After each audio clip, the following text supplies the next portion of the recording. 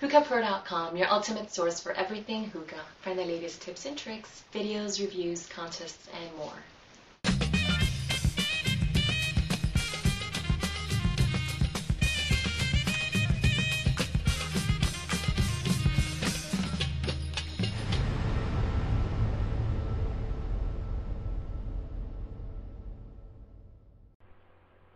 Hey everyone, is BTBAMordecai from HookahPro.com.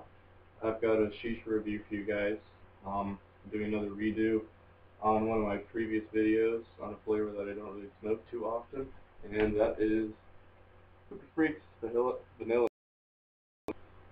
Um, got this a while back from the contest that Hookah Hookah had with Hookah Pro, and I wanted to just redo it because I decided to break it out for the first time in a while now. So there's the cut. You know, typical hookah hookah. It's never dyed red or anything, nothing like that. Um, it's sticky, not wet. Hookah hookah rarely is dripping wet. Some are, but it really depends.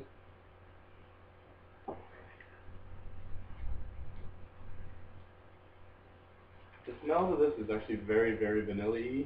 Um, it definitely appeals to the senses. It definitely has a nice strong smell to it, um, which is unlike any hookah hookah or some hookah freaks I've had. Hookah freaks tend to have a little better smell, um, so definitely has spicy smell to it. Um, that's probably the mojito part in. I smell a little bit of mint in there. I know mojitos have mint in them, so so that's good. Um, got my normal setup. Got my cafe Vortex bowl, three Coconaras, uh, my fixed Black Namor hose, and ice in the base, and I'll show you how it moves.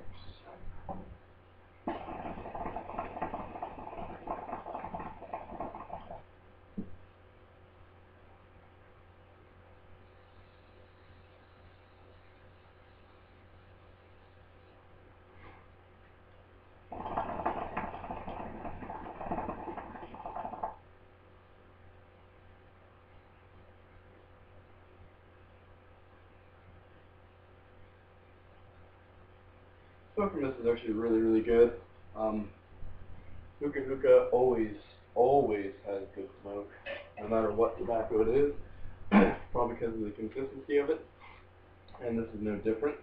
Um, the taste is actually very, very strong for it being a hookah hookah hookah freak flavor.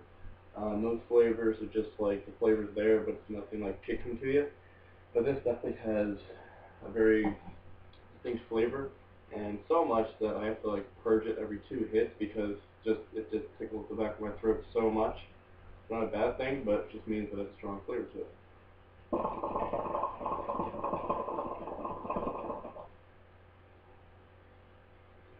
It's really, really big clouds. The taste is very, very good actually. Um, it's definitely exactly how it smells, almost like it's pretty much dead on what it should be. Yeah, just not as strong as the smell, but it's definitely strong tobacco. I'll, I'll give it that. Um, most other people who've tried the tobacco can attend to that. That it, it's definitely strong.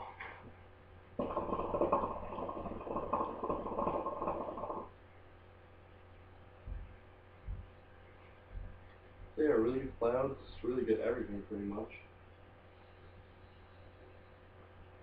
Even the first smoke smells really good.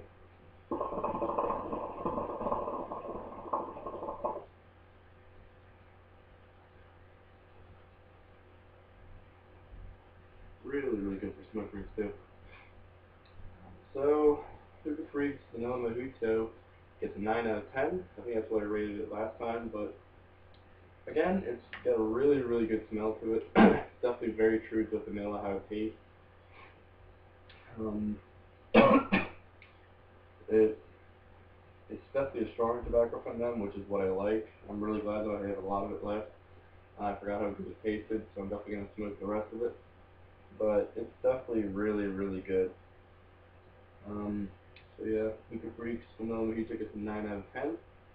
Um, you can pick it up pretty much anywhere now. Almost everyone has it except for a couple sites that don't sell it, but you can mostly get it from Sahara Smoke And that's all I got for you. This is BTV, more BTBAMordecai from HookahPro.com.